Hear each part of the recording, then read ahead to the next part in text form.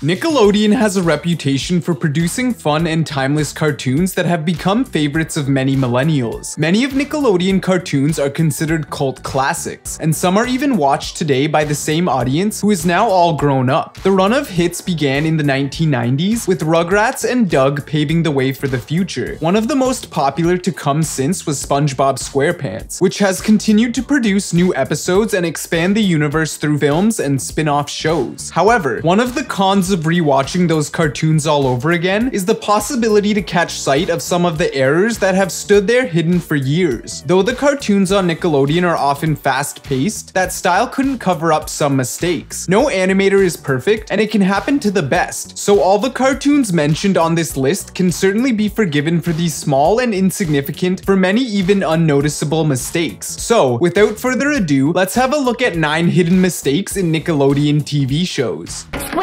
Making a big mistake! Mistake? Ha! The only mistake I ever made was wasting my life at the Krusty Krab. But a visit to the Krusty Krab makes everyone happy. And what could be better than serving up smiles? One of the most memorable Nick cartoons of the 90s is Hey Arnold, following the adventures of an orphan 10-year-old and his close group of friends. Its subject often touches on some very real and serious issues through many emotional episodes. The cartoon has had a few of the animation issues, such as characters changing colors or even missing limbs, but during an episode called Girl Trouble, there was one mistake that was a little bit strange. This episode is often disliked by fans because of Helga going too far, being much crueler than usual and not getting consequences for her actions. In one scene, Helga moves from her desk to a pencil sharpener on the other side of the room, but while she is sharpening her pencil, she turns around and looks at her class, which is where the error can be seen. Not only was the desk arrangement changed, but one of the students visible when she looks at Arnold is actually Helga. Though the scene changes quickly, by looking closely, it is quite obvious that the animators accidentally included Helga in the shot. I mean, I like Lila, but I don't like her like her. He doesn't like her like her. Oh, Arnold, so discriminating, so patient and thoughtful, spurning the golden. SpongeBob has proven many times that he lacks bones and that his flexible body can be maneuvered in many helpful situations. There are also many episodes in which SpongeBob is seen breaking a bone or producing a skeletal form. In a similar case, some episodes show that SpongeBob is made entirely of a sponge-like material, but in some cases, he doesn't even notice when a part of him is missing. In an episode called Rock Bottom, Patrick and SpongeBob enter the bus after visiting the Funtime amusement park Glove World. But while boarding the bus, SpongeBob's right arm is seen missing for a few seconds until reappearing again once he starts moving. If you haven't noticed that, you have probably been busy watching the strange case of a glove underneath SpongeBob's eyes. Near the end of the same episode, there is yet another mistake. When SpongeBob arrives back to Bikini Bottom, SpongeBob's pineapple is animated differently from the other buildings. Rock bottom. It sure is weird around here. Kinda different. Even the soil looks different. Would you mind putting me down?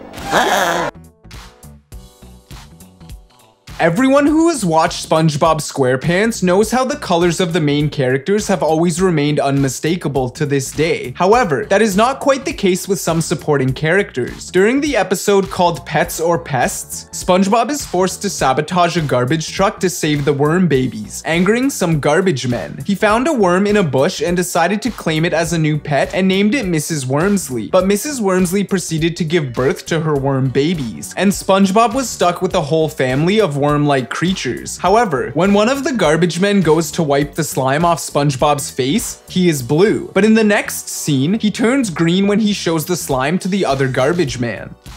I never knew you felt so strongly about this. Where have you been? Well, Over the years, the Rugrats have gone on many fun adventures, one of which happened to be in Las Vegas. The Pickles family thought it would be fun to take their babies to experience the glitz and glam while swimming in the indoor heated pools. In one of the first scenes in the episode called Vacation, Tommy is seen in his bathing suit and some swimmers while hanging out with Phil, Lil, and Chucky. However, when Didi shows up to pick up Tommy and say goodbye, all of a sudden Tommy is wearing his recognizable blue t-shirt. But in the very next clip, the shirt disappears again. During the same episode, Stu wore a t-shirt and shorts, and Tommy wore pajamas when the gang arrived in Vegas. But when they reached the reservation clerk at the hotel, Stu and Tommy wore their usual clothes. Afterwards, Tommy was back in his pajamas through the pool scene, while Stu was back in his t-shirt and shorts. This next mistake is not the animator's fault, but rather an underseen fact-based error by the show's creators. During the 11th episode of season 3 of The Fairly Odd Parents, called The Secret Origin of Denzel Crocker, Timmy goes back in time to find out why his teacher Mr. Crocker hates March 15th so much. Every March 15th, Denzel Crocker reaches new heights in terror, so Timmy has had enough and goes back in time to discover it's the date Crocker lost his fairies when he was a kid. However, every time Timmy jumps through time, he goes back 10 years from 2002 to 1992, 1982, and 1972. But some of the 80s references, such as Miami Vice, Flashdance, and Back to the Future, all came after 1982.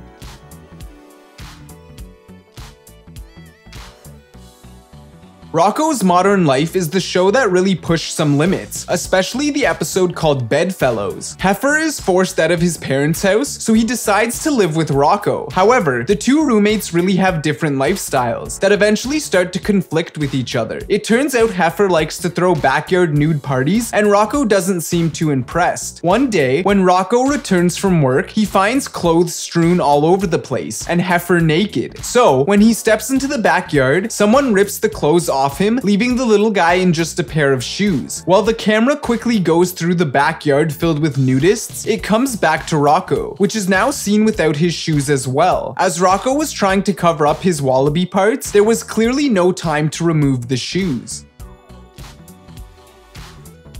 Gerald is famous for always playing a supporting role to Arnold's adventures in the city, but in an episode called Gerald Moves Out, we find out something more about this supporting character. Gerald gets tired of his brother's wrestling moves, his sister ruining his stuff, his father always complaining about the electricity bill, and his mother always telling him what to do, so he decides to rent a room at the Sunset Arms. In one of the scenes, we see Gerald walking down the stairs only to catch his little sister destroying his cassette tape by using it to wrap her book books. However, the book she is wrapping at the moment magically changes color from blue to green as she puts it on the ground. This isn't even a different shot or a cutaway, it all happens at the same time.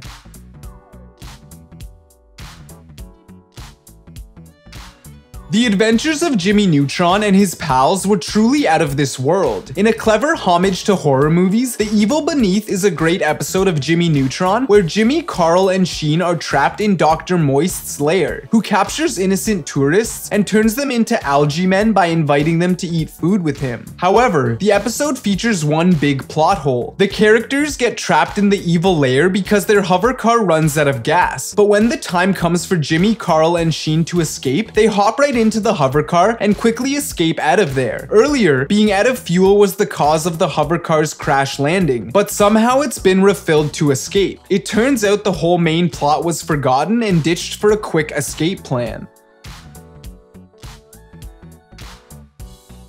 Much to the fans' disappointment, Invader Zim only lasted two seasons. Its interesting storylines and hilarious dark humor appealed to many. Gaz and Dib are siblings whose relationship is very broken and rather dysfunctional, with Gaz bullying and abusing Dib, and Dib taking very little interest in Gaz or what she has to say. So, the next mistake is not quite an obvious one, and is surely a strange one concerning the odd relationship. In one episode where Dib accidentally made everything taste like pork, it seems like these siblings are holding hands, which would be extremely strange and would have been a rare and unexpected moment of affection. However, the creator of the series, Jhonen Vasquez himself, confirmed that only happened as a result of an animation mistake. Thank you for checking this video out, and don't forget to smash that like button and also subscribe for new videos every day. Turn that bell notification on and comment down below that you subscribed, and we'll make sure to reply and thank as many of you as we possibly can. Once again, thank you for watching and see you next time.